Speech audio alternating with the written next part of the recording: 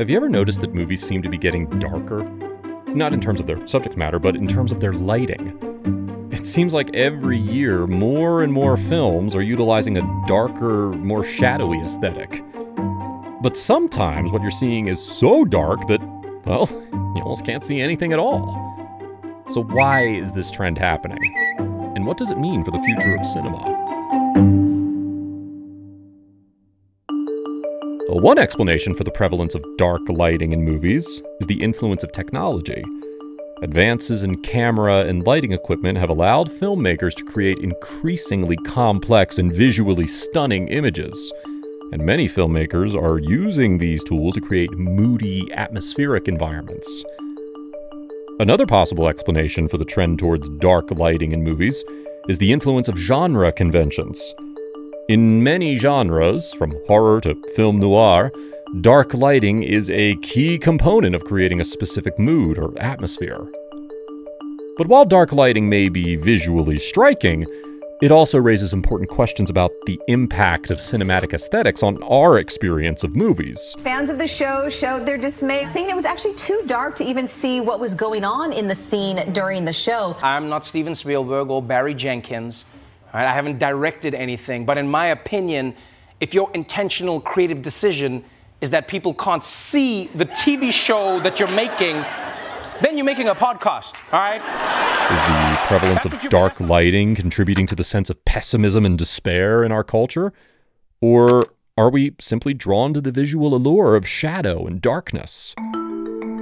One recent example of this trend can be seen in the film Joker, which utilizes dark, moody lighting to create a sense of chaos and unease. The film, which explores the origins of the iconic Batman villain, features a gritty, realistic visual aesthetic that is heavily influenced by the works of Martin Scorsese and other filmmakers from the 1970s. Another recent example of the trend towards dark lighting can be seen in the Netflix series Stranger Things. The show, which is set in the 1980s and draws heavily on the visual language of films from that era, features dark, moody lighting that creates a sense of nostalgia and unease. The show's creators have stated that the use of dark lighting was a deliberate choice, intended to create a sense of foreboding and mystery.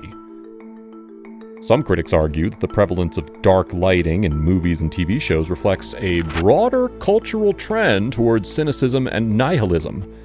By creating works that are visually dark and moody, filmmakers and showrunners are tapping into a sense of anxiety and disillusionment that's prevalent in our society. While the use of dark lighting in movies and TV shows has become more prevalent in recent years, it is worth considering how this style of cinematography is best experienced. Many filmmakers and cinematographers argue that the use of dark lighting is meant to be experienced in a movie theater, where the large screen and immersive sound system can heighten the impact of the visuals. In a theater setting, the use of dark lighting can create a sense of intimacy and tension, drawing the viewer into the world of the movie or TV show. However, in a living room setting, the impact of dark lighting can be diminished. The smaller screen size and less immersive sound system can make it harder to appreciate the nuances of the visual style. This may be one reason why some viewers find that movies and TV shows that rely heavily on dark lighting are less engaging when watched at home.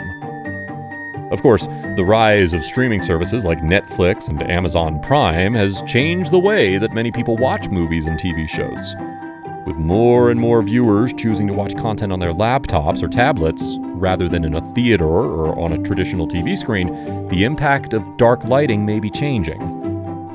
So, as we continue to explore the role of dark lighting in movies and TV shows, it is worth considering not just the aesthetic choices of filmmakers and showrunners, but also the ways in which we experience these works.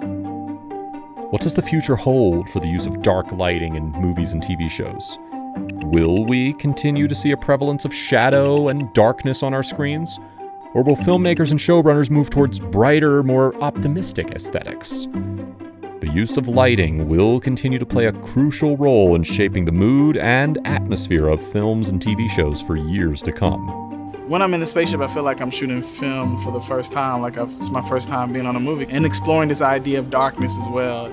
Not darkness as a frightening thing, but darkness as an unknown. If it felt right, ultimately, we could be as wide as we wanted and as tight as we wanted, and I think this just added a certain level of scale and scope to it where we could ultimately be deeply personal and uh, deeply internal, but at the same time be massively observational and be able to step back from it all as well.